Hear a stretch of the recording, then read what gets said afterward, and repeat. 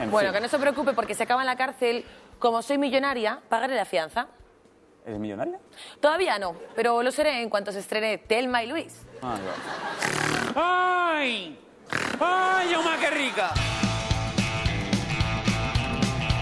¡Voy! Cuando decidimos hacer esta película sabíamos que todo iba a salir a las mil maravillas. ¡Domingueros! Patricia es una conductora que riete tú de Carlos Sainz. Se me caló. El equipo técnico es insuperable.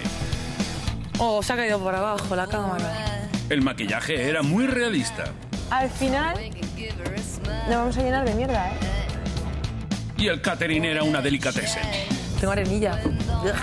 En fin, algo se podrá salvar, supongo. ¿Y yo sin maquillaje? ¡Solo queremos hacerles unas preguntas!